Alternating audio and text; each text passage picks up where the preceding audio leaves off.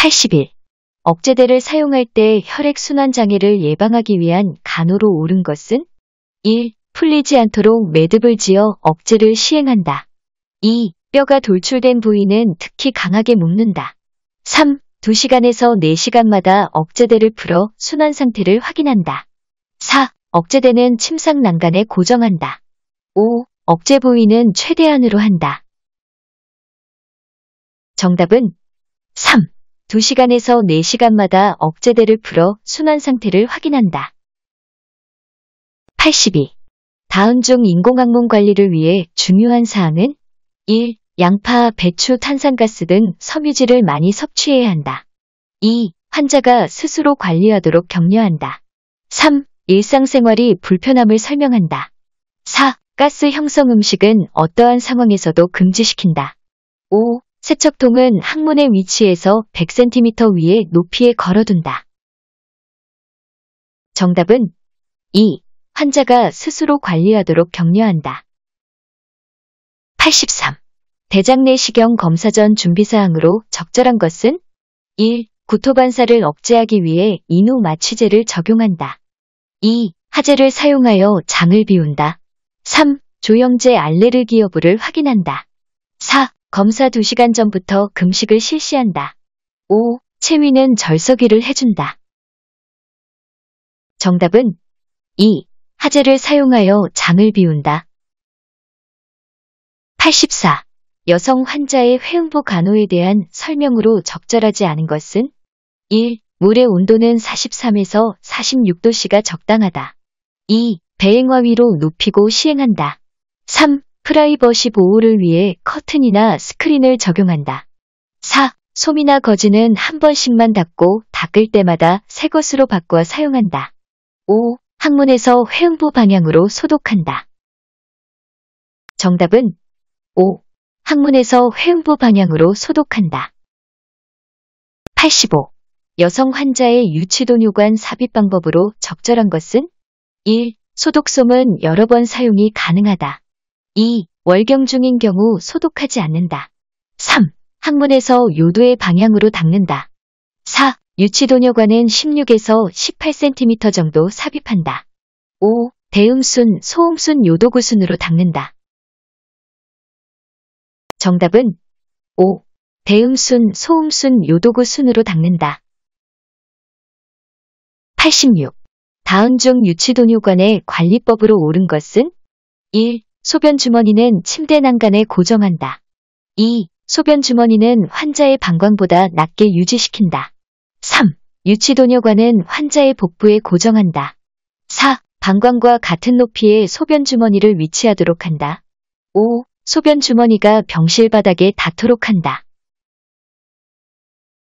정답은 2. 소변 주머니는 환자의 방광보다 낮게 유지시킨다. 87. 다음 중 맥박 측정 방법으로 옳은 것은 1. 운동을 한 직후 맥박을 측정한다. 2. 좌측의 과선과 첫 번째 늑간이 만나는 지점에서 심장 맥박을 측정한다. 3.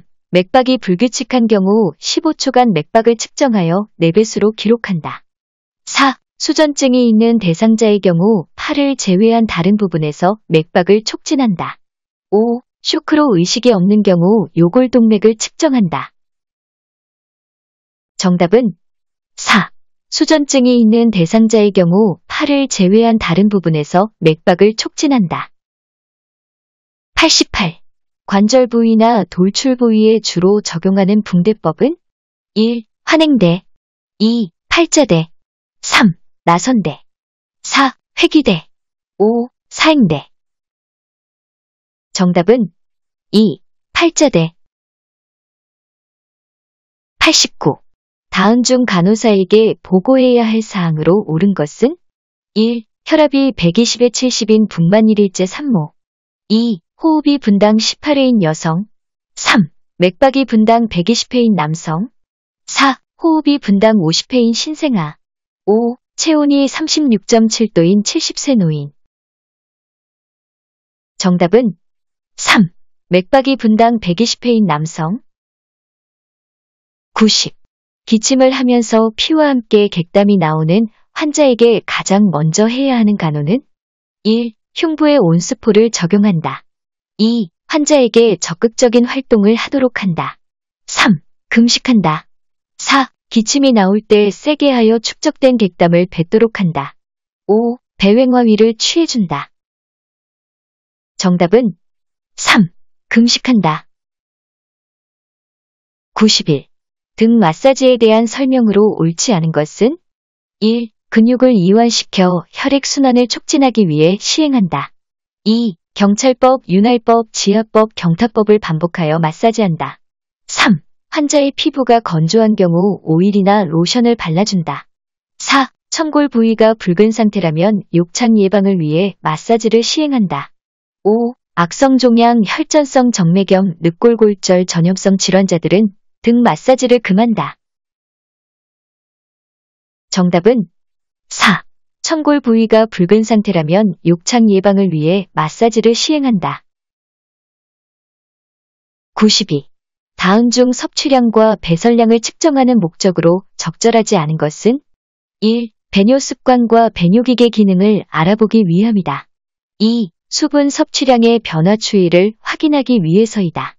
3. 몸무게의 변화를 예측하기 위함이다.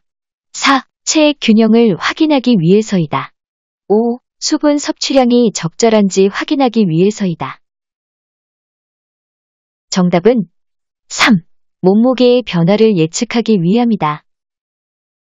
93. 발목 관절의 가동 범위로 적절하지 않은 것은 1. 내반 2. 외반 3. 족배굴곡 4. 족저굴곡 5. 외회전 정답은 5. 외회전 94. 호흡곤란이 있을 때 취해 주어야 하는 체위는 1. 쇠석위 2. 좌위 3. 심스위 4. 앙화위 5. 수룡위 정답은 2. 좌위 95. 장기간 부동 상태인 환자에게 욕창이 발견되었을 때 할 수 있는 간호로 옳은 것은 1. 이미 욕창이 발생했으므로 체위 변경은 시행하지 않는다. 2. 욕창 부위의 냉찜질을 시행한다. 3. 욕창 부위는 내과적 무균수를 통해 드레싱한다. 4. 요실금이 있는 경우 필요시 유치도뇨관을 삽입할 수 있다. 5. 감염 가능성이 있으므로 항상 기저귀로 덮어놓는다.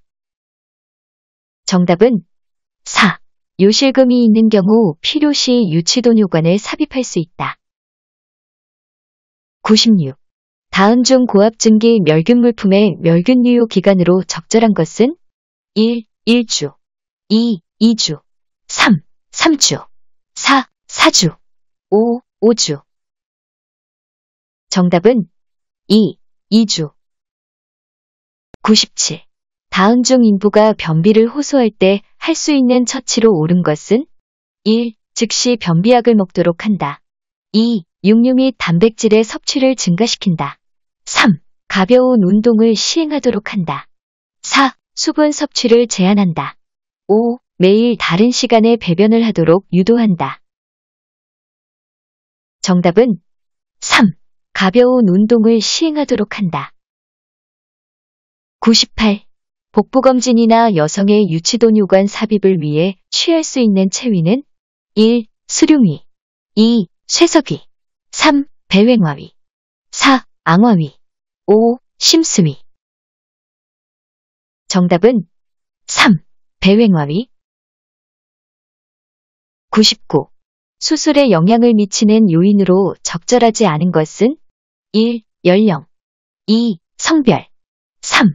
영양 상태 4. 건강 상태 5. 심리적 상태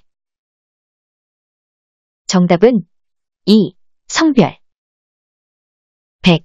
지팡이 보행을 하는 오른쪽 편바비 환자와 간호조무사가 함께 계단을 내려가는 모습으로 적절한 것은 1. 보조자는 환자의 뒤에서 환자의 보행을 돕는다.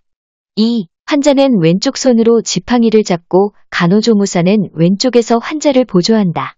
3. 보조자는 환자의 앞에서 보조한다. 4. 환자는 왼손으로 지팡이를 잡고 간호조무사는 환자의 오른쪽에서 보조한다. 5. 내려오는 순서는 지팡이 건측 환측 순이다. 정답은 4. 환자는 왼손으로 지팡이를 잡고 간호조무사는 환자의 오른쪽에서 보조한다.